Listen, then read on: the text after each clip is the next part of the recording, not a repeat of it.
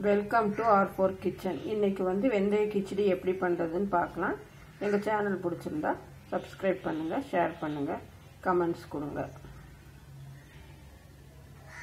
வெந்தய கிச்சடி இதுக்கு வந்து ப வெங்காயம் பச்சை மிளகா ரெண்டு தக்காளி ஒன்று புதினா கொத்தமல்லி ஜிஞ்சர் கார்லிக் பேஸ்ட்டு அப்புறம் வெந்தயம் ஒரு மூணு ஸ்பூனு பட்டை ஏலக்காய் ஒரு ரெண்டு பீஸு போட்டு தாளித்து விட்டுறலாம்.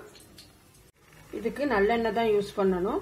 பட்டையும் ஏலக்காவும் போட்டு கொஞ்சம் பொரிஞ்சு வந்தோடனே இந்த வெந்தயத்தை போட்டு நல்லா கொஞ்சம் பொன்னிறமாக வணக்கணும். இது வந்து ப்ரெக்னென்ட் ஆகி பிரசவம் வாங்கினவங்களுக்கும் ஏஜிடன் பண்ண குழந்தைகளுக்கும் ரொம்ப நல்லது. இடுப்பு வலி கை கால் வலிக்கெல்லாம் ரொம்ப நல்லது. தீய விடக்கூடாது வெந்தயம். கொஞ்சம் பொன்னிறம் ஆனோடனே ஒவ்வொரு பொருளாக நம்ம சேர்த்துக்கலாம். வெந்தயம் நல்லா பொன்னிறமாக வணக்கியாச்சு இப்போ இந்த வெங்காயத்தை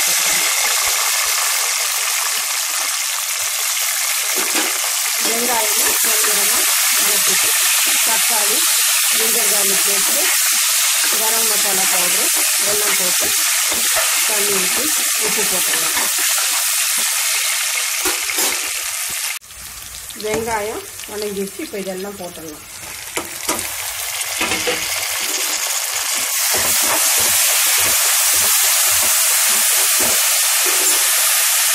தண்ணி நல்லா கொதி வந்துடுச்சு இப்போ வந்து இந்த அரிசி போட்டுடலாம். போட்டு குக்கர் வந்து ஒரு மூணு விசில் போட்டு ஆஃப் பண்ணிடலாம். மூணு விசில் வந்துருச்சு. குக்கர் ஆஃப் பண்ணியாச்சு. இப்படி ஒரு குழி பண்ணிக்கோங்க. கொஞ்சம். அதில் கொஞ்சம் நெய் விட்டு ஒரு நாட்டுக்கோழி முட்டை உடச்சி ஊற்றிடலாம் இதில். முட்டை உடச்சி ஊற்றியாச்சு பெப்பரும் உப்பும் கொஞ்சம் மேலே போட்டுவிட்டு இந்த சாதத்தை இப்படி மேலே போட்டு விட்ருங்க போட்டுவிட்டு ஒரு அஞ்சு ரெண்டு நிமிஷம் குக்கர் வந்து இது பண்ணி சூடானோடனே நம்ம குக்கர் ஆஃப் பண்ணிடலாம். அந்த முட்டை அப்படியே வெந்துக்கும். வெந்தய கிச்சடி ரெடி ஆயிடுச்சு. வீட்டில் இது நீங்கள் செஞ்சு பாருங்கள்